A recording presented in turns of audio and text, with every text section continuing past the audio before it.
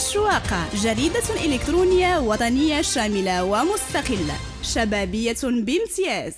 الخبر من قلب الحدث. أولا اليوم نقف على مهزلة من مهازل المجلس البلدي.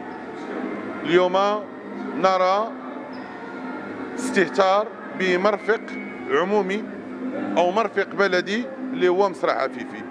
والكل يعلم مدى دلالة هذا الاسم أولا المرحوم محمد عفيفي.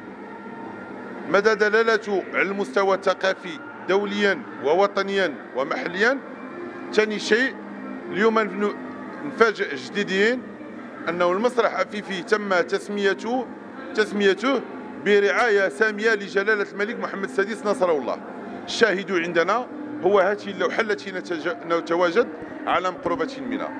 ثاني شيء اليوم نرى استهتار أغلبية المجلس بمصالح الجديديين والدليل هو ما قاموا به أثناء الترخيص للمسمات شيخة تسونامي في الوقت اللي كان المسرح عفيفي خاص بالعروض المسرحية. اليوم نرى المهزلة التاريخية التي يعيشها الجديديون من خلال مسرح عفيفي من خلال ترخيص مسرح عفيفي للشيخة تسونامي. اليوم نرى أغلبية تسير المجلس بعدد 14 عضو منتمون للعدالة والتنمية منتمون إلى حزب إسلامي محافظ يرخصون إلى تسونامي وأنتم ترون الواقع الذي يعيشه مصر عفيفي.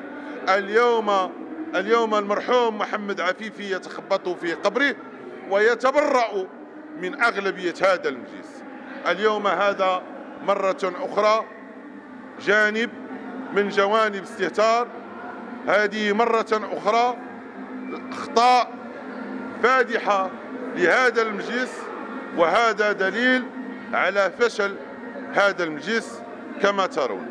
اليوم ندين هذا السلوك بشدة وندين ترخيص الذي سلم إلى هذا النشاط ونطلب من عامل الإقليم أن يتحمل مسؤوليته بحكم أنه هو من سهر على اتفاقية الشراكة التي عقدت بين مدينة جديدة الجماعة الحضرية الجديدة والجماعة القروية لمولي عبد الله والمجلس الإقليمي حيث تم إصلاح المسرح بمبلغ 800 مليون وما يزيد عليها. واليوم أنتم سترون بعد هذا النشاط بين قوسين استسمع على هذه العبارة بعد هذه القصارى سترون ما ستؤول به الأوضاع إلى مسرح يعد أولى المسارح على مستوى شمال إفريقيا من بعد المسرح ديال تونس. اليوم نرى الاستهتار بالطبقة المثقفة لمدينة جديدة. اليوم نرى نرى تمادي الأغلبية في الاستمرار في استمرارها في أخطائها الفادحة.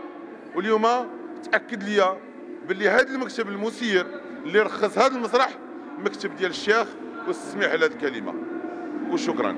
قبل ما تخرجوا ما تنسوش تابوناو في la chaîne YouTube وتبارطاجيو la vidéo مع أصحابكم في مواقع التواصل الاجتماعي وما تنسوش ديروا j'aime.